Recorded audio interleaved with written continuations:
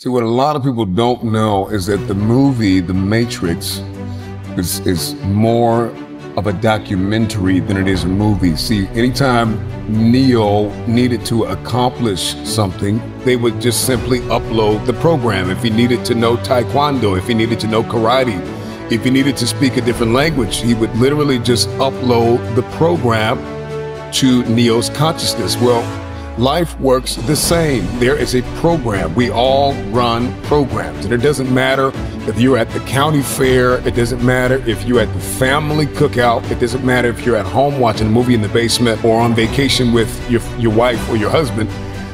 We're all running a program. And you have default settings within your subconscious. And we have Many of us deal with laziness. Many of us deal with anger. Many of us deal with frustration. And these are different programs that we run. And so now you need to deliberately investigate and examine your internal man and ask yourself, what are the programs I'm running? Because for many of us, laziness is a program. Procrastination is a program. Anger and anguish and bitterness and unforgiveness is a program. And if you're going to hang on to grief and anger and unforgiveness because of the lawsuit or because of the jail time or because of the record that you think somebody messed up or the messy divorce you are going through or the job you lost or the business that tanked, I don't care what the adversity has been, you have two choices. You can be unforgiving, bitter, angry, upset, and be a carrier of grief or you can choose resilience. You can cope with what happened. You can upload the program of resilience and recover all and get back to the place where you were before the fall. Get up! Stop waiting for the storm to pass and ask yourself the question what can I accomplish in the rain? We get one shot at this gig right here, life. So do not wait. Go forward. No more waiting for the perfect moment, and no more indecision, and no more lies. Take the action. Get out of bed, get your feet on the ground, step forward. Give every day everything you've got every ounce of energy, every bead of sweat, every drop of blood until your last breath and don't let another day slip by. Stop praying that the storm will pass over you and pray to grow through the storm. Stop going around it, go through it. What you go through, you will grow through. Some fights are not won in the first round flat out. The moment that you get that and you get crystal clear and you accept the fact that there are some giants that you will not defeat. You know what I hear? I hear the clock ticking. And time waits for no man. Life goes by and it goes by quick. Don't waste those years. Don't waste them. Live them. I want you to be terrified of sitting on the sidelines and doing nothing. Waking up in six days or six weeks or six years or 60 years and being no closer to your goal. You've made no progress.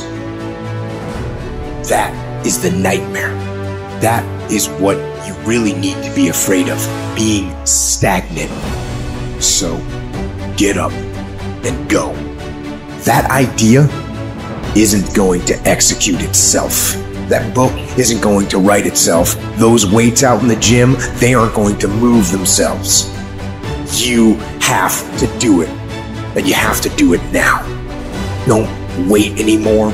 Don't think anymore. Don't plan anymore. Don't contemplate anymore. Don't make any more excuses or justifications. Don't rationalize anything else.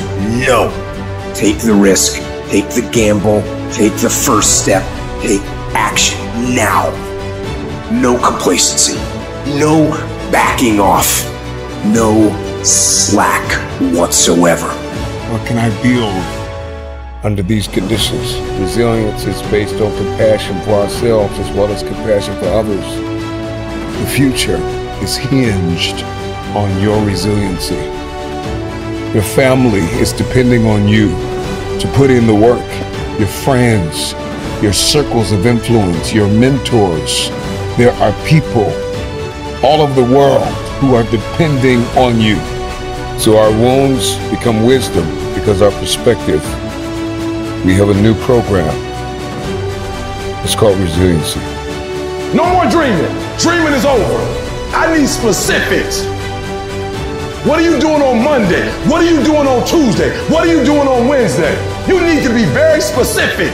It's time to put your pieces together of your puzzle. And we want to make a conscious, deliberate, determined effort to start living life with a sense of urgency and using what we've got, using ourselves up, sharing what we brought into the universe to share. Because if we don't, nobody else will. Stop wasting valuable time.